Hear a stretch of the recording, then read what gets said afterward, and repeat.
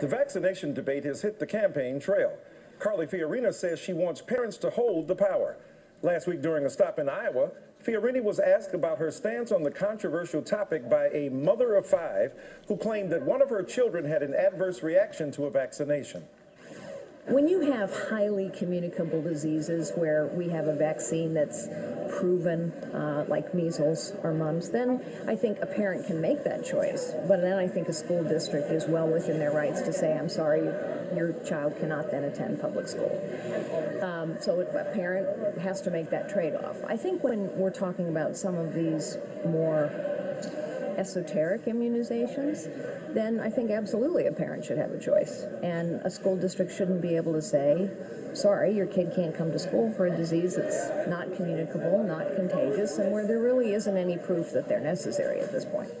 Fiorina continued by sharing a story saying her own daughter felt bullied by the school nurse when she hesitated to get HPV vaccine for Fiorina's granddaughter. And she called the HPV vaccine esoteric and contrasted it to the measles vaccine. Fiorina seems to be trying to play both sides. She said school districts should be able to deny students admittance if they haven't had certain vaccines. Some reaction to Fiorina's remarks has not been kind. It's important to note, vaccination mandates and exemptions are matters of state, not federal or local law. But she still has support from some Iowa voters. According to a Suffolk University poll, Fiorina has 7% of the vote in Iowa. She's tied for fifth place with Texas Senator Ted Cruz. Joining me now is Dr. Corey Hebert, professor at the LSU Health Sciences Center, and Christina Hildebrand, founder and president of A Voice for Choice. Doc, what's your reaction to Christine, to Carly Fiorina's stance on vaccines? It, it, was very upsetting because for her to mention the word esoteric, uh, you have to really be able to step into a scientific arena to decide what's important and what's esoteric. She doesn't have the credentials to be able to do that, and we have so many studies to show that that vaccine, including the HPV vaccine, as well as the myriad of other vaccines that we give to uh, young people uh, and as well as the uh, the elderly population prevent disease. So I think she just probably should stay in her lane and, and pick a side because right now she hasn't. All right.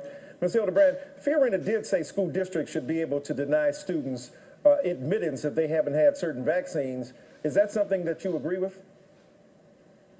Um, I don't really think it's about agreeing with it or not agreeing with it. I think it's um, a parent should have the ultimate right to choose what medical treatment happens to their children, what gets injected into their children. And, you know, the doctor says that we have all of this scientific research, but really, honestly, when it comes to vaccines, we have very little um, unbiased research. The research that's done is done by the CDC or by the vaccine manufacturers, um, and it is not unbiased research. The, we've, we heard from Congressman Posey in the last week, or couple of weeks, um, he put it on congressional record that there were um, CDC documents regarding related to the MMR vaccine that were um, fraudulently shredded. Um, they were they basically showed that African American um, boys are three times more likely to get autism from the MMR vaccine, um, and that there are other links to autism. Um, and they chose to take them to a garbage can and shred them into a garbage can at the CDC. A whistleblower, William Thompson, decided um, to not do that because he knew it was illegal, and he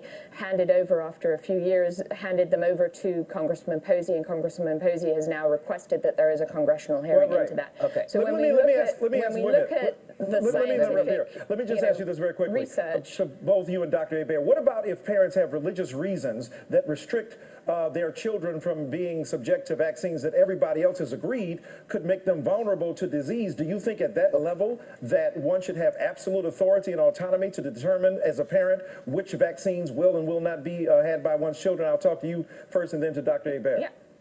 I think, I think when it comes to a parent's right to choose, all vaccines have a risk associated with them. You just look at the vaccine package inserts and you can read through all of I'm the But I'm saying specifically, the, even in uh, light issues. of greater vulnerability so, that they might be exposed right. to or that the illness they might spread. I, I got, yes, yes, because it's it's ultimately the parent's choice, and it is right. there are there are risks involved with all vaccines, and there it, that's in the package inserts. If all there right. is a parent that you have a choice. Well, let me, let me let Dr. Hebert respond to you first. Let me let Dr. Okay, okay, respond okay, first. wait, wait, wait, wait, stop. But first of all, let's talk about the 107 studies that have been proven to show that vaccines have been safe and vaccines are not uh, and who don't has cause conducted autism. Those let, him, let him finish though. Uh, and, and who has let me finish. Ms. Hildebrand, let- let Dr. me Hebert finish, and then we'll and get you there's back. been one study in 1998 that showed 12 patients that uh, got MMR and got uh, autism. I'm not and that, talking and, and about let me any finish. of that. Uh, okay, and that doctor has been discredited, and he lied and took six six hundred thousand dollars from lawyers to do the study. Not to mention the last the study that was CDC published. Let me finish. Let him finish, though, Let me finish. Let me finish. finish. Not to mention the last study that was done that was published in the Journal of the American Medical Association, which looked at over 100,000 children and showed no increase in autism. Now, to the next question that It was also asked. did not. Let me it also, finish. One second. It also did No, not I d- show that it didn't cause autism. It would, left You- the door you, wide you have open. one that study, study to say that it did, and and uh, 107 no, to show that it didn't. All right, make your second point, Dr. Finish. Hebert. Let's let Dr. Hebert make a second Let me point. finish. Now, when you asked about the question about the parents' right, there are some uh, diseases that are so contagious, meaning measles, if you get in a room with a person that has the measles, the odds are that you're going to get the measles, a 90% chance. So let's look at this. A person that is less than one year of age can't get the measles vaccine, but can transmit it. So that is why we have a problem because just because you don't want to, to get the measles vaccine, you are putting my child at risk for Let's getting. let Ms. So- Hildebrand wait, wait, respond to one thing, that. One thing, But we subacute have- sclerosing panencephalitis. M- Miss, I, I, I mean, I, I Let's, respect okay, what let's you're let her respond to that, Dr. But, Hebert. but that's not the case. Okay, so let's go back to the, if we go back to the studies, if you look at the Cochrane report, which I believe is what you're referring to, but the Cochrane report basically said that there, it is an open door. There has, this, the research is not conclusive either way, that autism or. The door is closed. And I'm not only talking about, or, it is door not is closed. It's And not an the other door. piece that I'm referring to is, you can't base science on stuff that is fraudulent, that you have been You told can't- is the- correct, your- your- but your is whole fraudulent. concept- The your whole concept- CDC, the your whole concept of your has study is fraudulent. Dr. Wakefield, his whole the study seed, was I'm fraudulent. not talking you about cannot Dr. base Wakefield. science on I'm emotion. not talking You about base Dr. on Look, Wakefield. we- I'm talking okay. about the Look, CDC Dr. Corey here in Bear and America, the Christina Hildebrand, thank you so much for your time tonight. We'll resolve these matters at a later date. We'll have a lot- We'll have a lot more coming up.